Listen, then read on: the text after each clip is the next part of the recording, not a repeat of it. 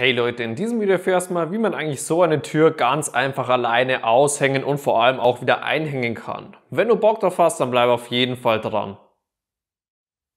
Das Ganze funktioniert eigentlich bei fast allen Türen relativ ähnlich und zuerst mal sollten wir diese auf jeden Fall öffnen, dass wir mit der einen Hand, in meinem Fall die rechte Hand, unser Türblatt schön halten können und mit der linken Hand kommen wir auch zwischen Türblatt und Sage ordentlich rein.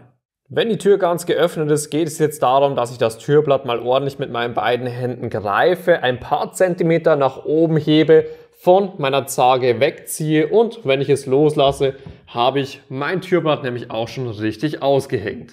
Beim Einhängen gehen wir eigentlich in umgekehrter Reihenfolge vor. Wir bleiben hinter unserer Tür, heben diese jetzt schon einmal ein paar Zentimeter hoch und dann können wir auch schon mit einem Fuß, in meinem Fall der rechte Fuß, nämlich das Ganze von unten unterstützen. Und jetzt geht es einfach darum, dass unser Türband zuerst einmal unten bei dem Gegenstück schon etwas genau darüber liegt. Und wenn es unten passt, dann schaue ich, dass ich es oben auch noch ordentlich positioniere. Und wenn meine beiden Türbänder passen, dann kann ich auch schon das Türblatt einfach loslassen und es sollte somit auch schon richtig eingehängt sein.